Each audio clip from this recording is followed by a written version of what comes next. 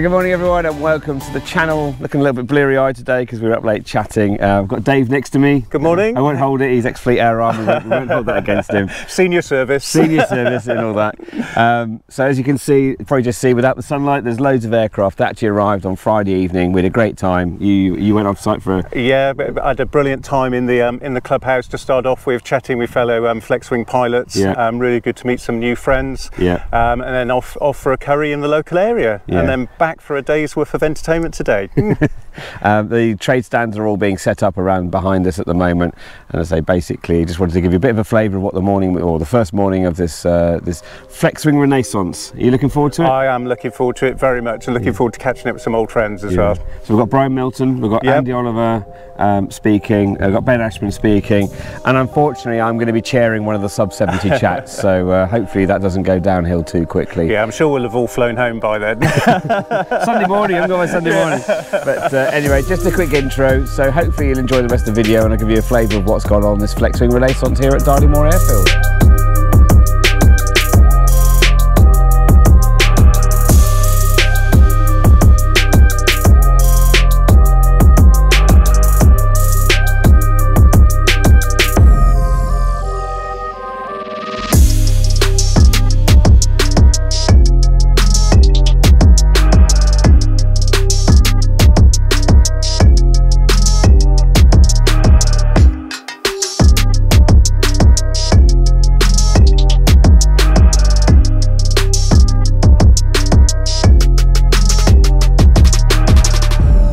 So we are here at the Flexwing Renaissance. It is only about 10 o'clock in the morning. Aircraft are flooding in in seamless fashion because of PPR here at Darley Moor, and we have Me again. Hello, Giles.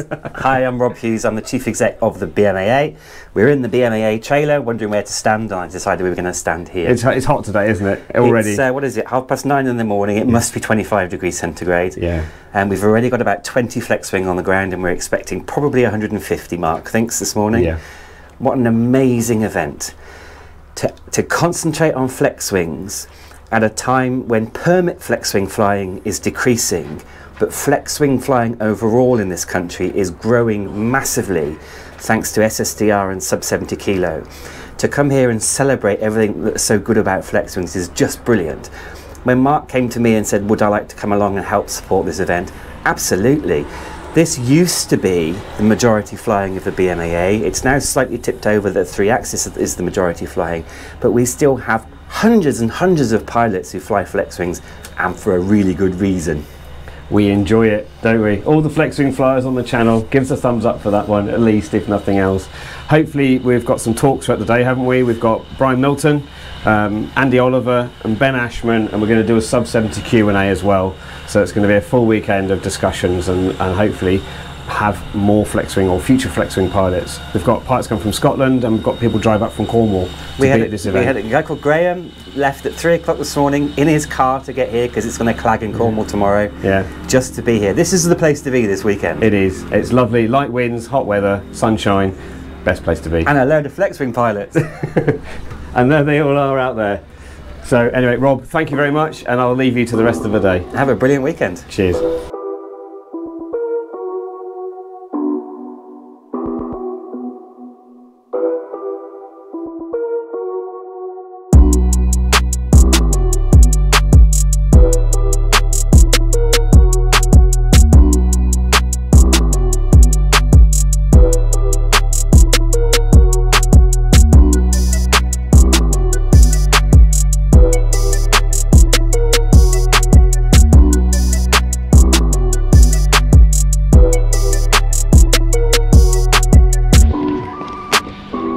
So if you've got this far of the video, this is actually all the work that we've been doing prior to this event.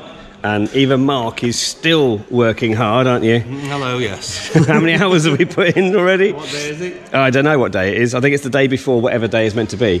Yes, it's been a, uh, it's been a very busy few weeks. Yeah, yeah. So Fun um, though, looking forward to it. I'm looking forward to it. Yeah, it's going to be great. I look forward to Sunday, but yeah, yeah, the response has been fantastic. So Yeah, What is it? we reckon about 200 aircraft plus. Maybe it could be potentially Manic. the uh, largest gathering of flex-wing aircraft in the UK for quite some considerable time. So uh, that in itself is quite a scary thought. Well, that's preemptive, so we'll uh, we'll see what happens. See, we'll see. Watch this space. What-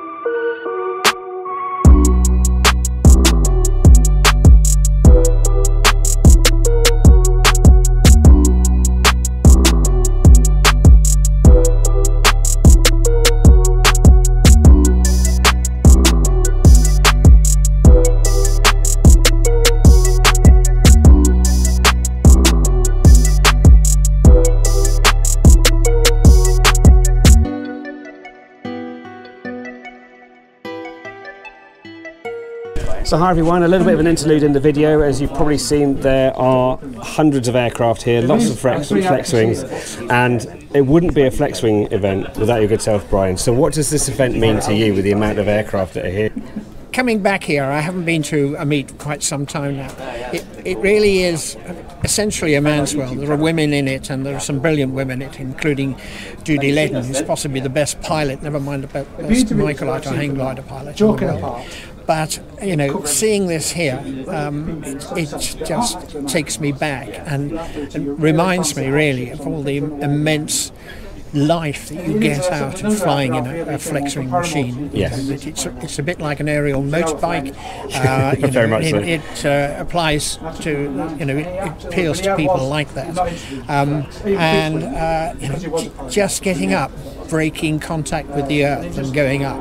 Uh, in one of these things is a real charge. It often frightens journalists. I remember taking journalists flying and, and they landed and they reported about it. It was as if they had fought in the Battle of Britain and they'd landed safely and so Yeah. they'd won it. But uh, it's terrific to go and see this. Brilliant. So if, if those that don't know about Brian's story, I will leave a link in the description and a card in the top corner where to read his book. It's an amazing read, so go and have a look at it. You're actually doing a talk later today, which I will be sitting on, and hopefully I'll give you a flavour of that talk as well. Well, it's a two-hour film, four half-hour programs from National Geographic Television. But I mean, the books that I've got here, I had to go at the Atlantic. I failed in the end uh, in a flex wing, but it's quite an adventure, and it was impossible. It just I had just too many people against me. Well, thank you very much for your time, and hopefully you enjoy the rest of the day. Me too. Thank you very much.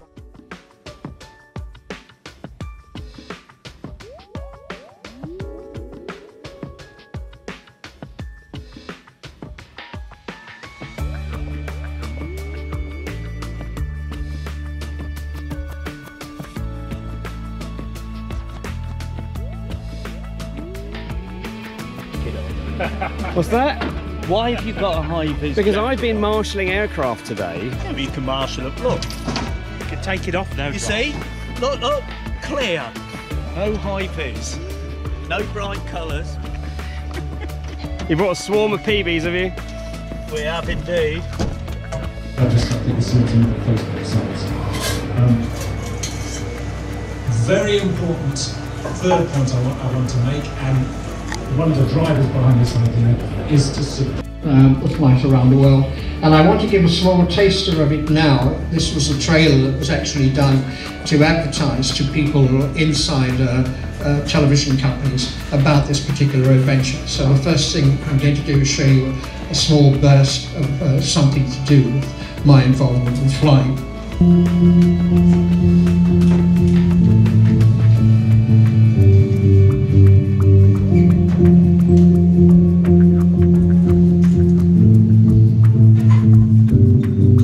So I finally tracked down a gentleman. We met at Popham about two years ago.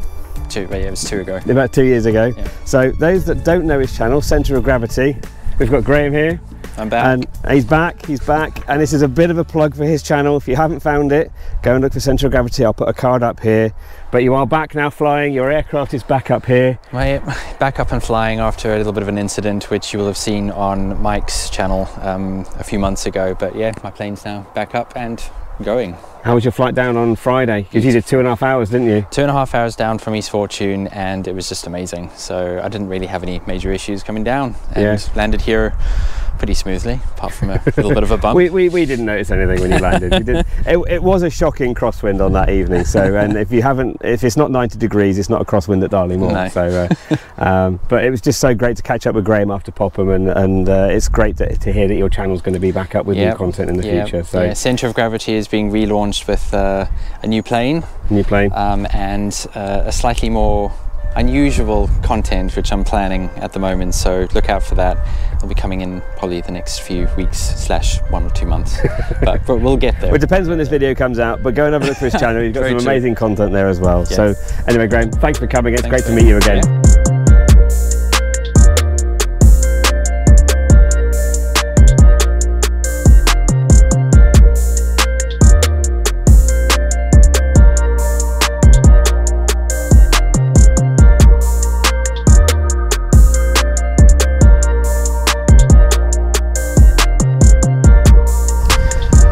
So I finally tracked down Andy Oliver, um, and we're, we're taking shade under under his wing. He's all packed as the adventurer that you are, um, and the Flexwing Renaissance here at Darley Moor.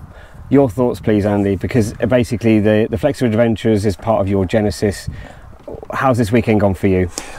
And let's take it in two parts. First of all, this event here. Yeah. Any, can anybody remember when we had 90, 80 Flexwing aircraft gathered together under this type of sun with uh, seven, eight, you know, suppliers and 80 pilots coming together? And I think, and, and, and then the stunning support and, and heavy lifting that Darley Moor have done. I think, I think it's been an absolutely brilliant event. And if the Flexwing adventurers are, are going to be doing anything, you know, we should encourage and we should take take the lead on on an annual Flexwing Flyers event. And I hope it I hope it will become. Uh, you know the, the event. If, Yeah. if we out spam Spamfield, that's terrific. This isn't a competition spam field, but say we'll give it a damn good go. Damn good go. So, what's your thoughts on, on how it's been presented and the, the, the elements? Because I, I, we've listened into Brian Milton's presentations Yeah. and all the other speakers, Yeah. both young, new, from both spectrums really. We've had the, Yeah. the young, inexperienced flyers through to the, the guys that have flown around the world. We were chatting off camera, and basically you were, you were saying about that there's, there's a mentorship program that Yeah. you want to try and get Yeah. across. Do you want to cover a little? Yeah, yeah, ab- absolutely. And I think this is where we'll make a difference. There are, and there's some underlying themes here. One is, and, and um, Rob Hughes was really interesting on the graphs he showed in his talk, and, Yeah. and, and the way that your love, the sub 70 in the SSDR, I mean, how many, 250 aircraft or something in the last year? The sub 70 sector has absolutely proved its value and its demand and there's a group of pilots coming in. And we heard um, from other pilots who um, you know started on that and then when they were ready for it think, thought I want a bit more range I want a bit more capability and they moved up Trev Lee's presentation, Trev Lee, yeah, people like that and uh, in the course of two or three years and he's now planning to go to Norway Yeah. next year. And uh, so if we pursue on, on people like Tre- Trev Lee and there are many others, and indeed we've now got, we've probably got about 30 or 40 people of that nature who've, who've joined the Flexwing Adventurers when we when we launch in September. There's a great pool of expertise. You know, the Ed McCallums and the, and the Martin Mosleys who've done that type of trip, and, and the little things that I've done, and various other uh, flyers. So we want to prov- provide a club and association where that experience can be pooled and you can find somebody to talk to. We'll have our own private annual Yep. Trout Flex fly-in. Um, and we'll also, and I think this is the this is the, the real effect it, it it'll have. There will they're already forming um, a couple of experienced pilots with some really keen low hours pilots who were beginning to plan, you know, more beyond the ordinary Yeah. type thing. And by beyond the ordinary, I mean just a long weekend away. Yeah. You know, But, but that's what you were talking about in the mentorship, isn't yeah, it? yes, A- and and uh, we have to be clear. We're, none of us are instructors. There's no commercial interest uh, at all on our part. We're just sharing our experience to bring more pilots into the sport for the for the the good of those pilots, Yeah. uh, the satisfaction of those pilots, the safety of those pilots, uh, and and for bringing back up a renaissance. We, you, we, we've been using the term renaissance, and I def- definitely feel after three pretty depressing years, Yeah. you know, there is a lot of energy and a lot of desire to get back up there, you know, and do wonderful things in these wonderful aircraft. And it doesn't matter what your machine is, does it? It doesn't. I, I fully confess to you, I haven't worked out, you know, how these, what, what the, the lightweight end can do, but I think it's going to settle down into there will be, there'll be a, a for the Flexwing adventurers point of view, there will be the, the, the database and there will be, there will be um, a two-stroke you know, group who know each other, and there'll be the regional sub 70 groups, and there'll be the, you know, the big long distance over the water crazy guys, um, and we'll all know who we are, and, and people can move between each groups or take the lessons from each group, and we'll have an annual Trout Flex invitational flex wing adventure event every year to pool all this. And and I do sense there is such um, desire you know there's such enthusiasm there.